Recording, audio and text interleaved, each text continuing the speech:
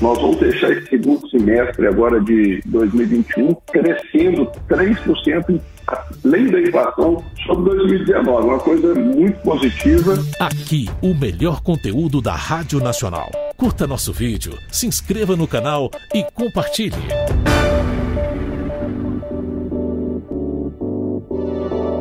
Muitos municípios e estados brasileiros cancelaram as festas de fim de ano. A partir desses cancelamentos, qual a expectativa do setor de bares e restaurantes? Eu sou Miguelzinho Martins, âncora do programa Revista Brasil, e no nosso podcast de hoje eu converso com Paulo Somuti, presidente executivo da Associação Brasileira de Bares e Restaurantes, a Brasel. Ele responde a essa e outras dúvidas a você, ouvinte nacional. Bem, presidente, como o senhor vê esse momento vivido pelo setor, ou seja, a possibilidade de retomada da clientela, mas sem perder de vista os cuidados com essa pandemia que nos surpreende a todo instante, inclusive com novas cepas? Bom, a verdade é que o consumidor voltou bastante animado.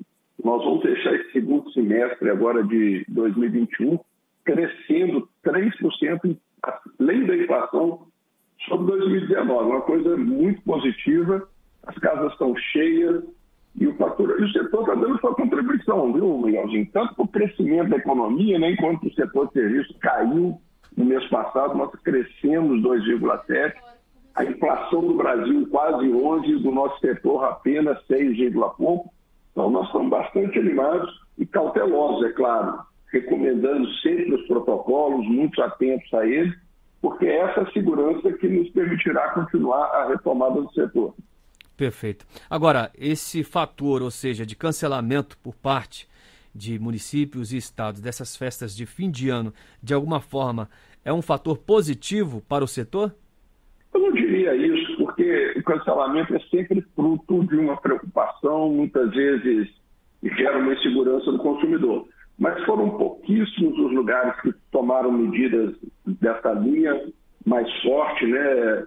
Eu acho que em alguns cantos emblemáticos, como no Rio de Janeiro, nós vamos ter os fogos e vamos suspender os shows. Eu acho que muitas vezes isso vai permitir até uma, um convívio melhor dentro dos estabelecimentos. Nós estamos com as casas cheias. Eu acho que quem quiser encontrar lugar em bares e restaurantes neste final de ano vai ter que reservar. Então, assim, estamos muito tranquilos. Cidades, algumas cidades, inclusive revertendo. Por exemplo, Natal tinha proibido diante da maior tranquilidade do momento, liberou novamente as festividades.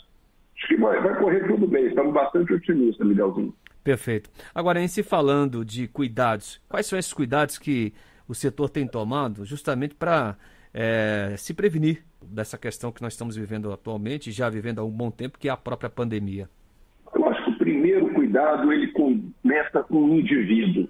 Nós precisamos estar muito atentos para não sair de casa, por exemplo, se tivermos com sintomas, seja da gripe, da influenza, que está aí mais forte em São Paulo e no Rio, seja qualquer sintoma que possa indicar a presença do Covid. Então, primeira coisa, responsabilidade com os demais, consigo mesmo. Então, não sair de casa com sintoma. Saindo, usar sempre a máscara, Vamos tirar a máscara apenas nas mesas, quando estivermos com os familiares, com os amigos, é um risco menor e conhecido.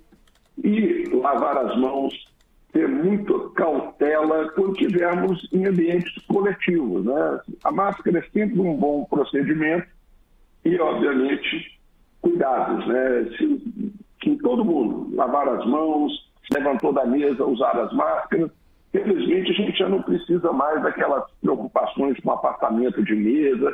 Essa foi uma fase que foi superada. Então, estamos vivendo um momento melhor, mas temos que manter a cautela. Perfeito. Presidente, está conosco também a apresentadora, também âncora do Revista Brasil, Magda Calipo, em São Paulo, e é para lá que nós vamos. Ela tem pergunta. Magda, Doutor Paulo, a minha pergunta é a seguinte: nós vimos aí muitos estabelecimentos desse ramo, bares, restaurantes, que sobreviveram aos lockdowns, à pandemia. Mas a pandemia continua e ainda há um medo por parte dos comerciantes diante do quadro atual do aumento da Covid, da gripe que está extremamente forte, ou até outros, é, outros fatores, outras doenças que ainda estão envolvidos, como a zika, chikungunya, outras doenças que evitam que as pessoas saiam de casa e consumam ou frequentem bares e restaurantes. Eu gostaria de saber se o setor tem alguma carta na manga, alguma estratégia para essa nova cepa, o Omicron, ou outros que possam aparecer nos próximos meses. Pois é, né, Magda? A vida ficou bem mais complicada do ponto de vista da saúde, né? Nós aprendemos a lidar com nomes aí bem diferentes que a gente está acostumado no setor. Mas o que é importante para nós hoje é que o consumidor brasileiro, ele, primeiro, está muito cauteloso como regras. Segundo, nós vamos ser campeões mundiais de vacinação.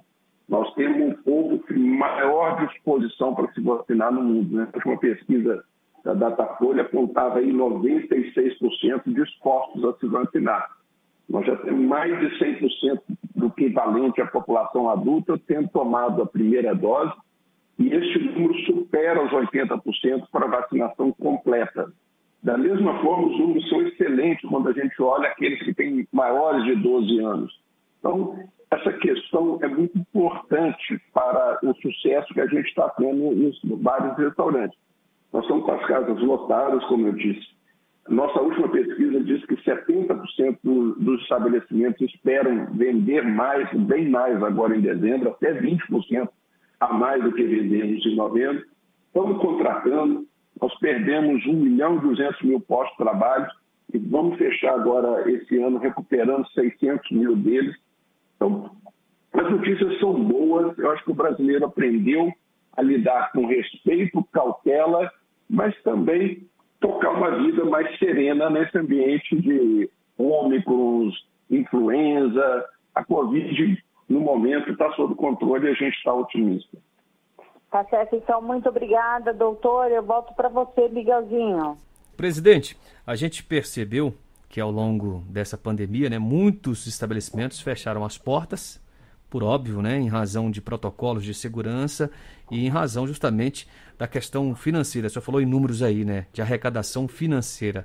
E agora muitos estão retomando as atividades justamente com essa pretensão né, de que se busque uma estabilização do caixa, ainda que sofre com altos e baixos em relação à pandemia. Como é que está essa realidade hoje no setor, é, sobretudo a partir da, de dados da Associação Brasileira de Bares e Restaurantes? Miguelzinho, você tem razão, nós pagamos uma conta dura e, a nosso ver, injusta e desproporcional pelo bem coletivo durante a pandemia. Eu queria só destacar aqui que o estudo do Fundo Mundial, em 130 países, mais de 100 fizeram ajuda a fundo perdido, ou seja, sem ter que devolver para o setor. Aqui no Brasil, a gente teve pouquíssimas ajudas, os municípios se ausentaram nesse processo, os estados também.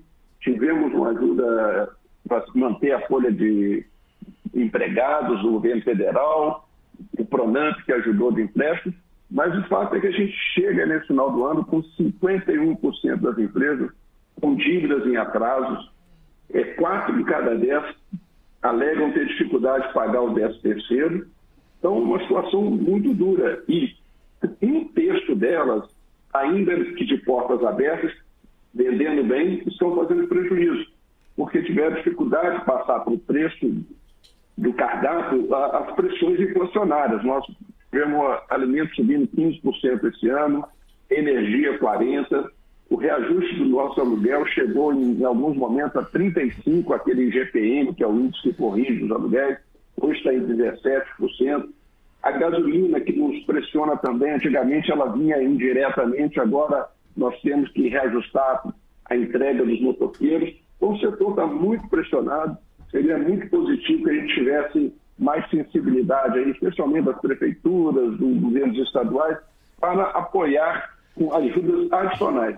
A pandemia ela continua sendo motivo de atenção do ponto de vista da saúde, mas os seus efeitos sobre aqueles setores, como o setor de evento, turismo em geral e o nosso em especial, pagou uma conta muito dura, continua precisando de ajuda. É o que a gente apela aí às autoridades e à sociedade como um todo. Sensibilidade a nos ajudar nessa caminhada. Perfeito. Para concluir, é importante que destacar justamente que esse retorno, para que seja de fato seguro das atividades, né, tem que ter aí a consciência de todos sobre os procedimentos necessários, não é?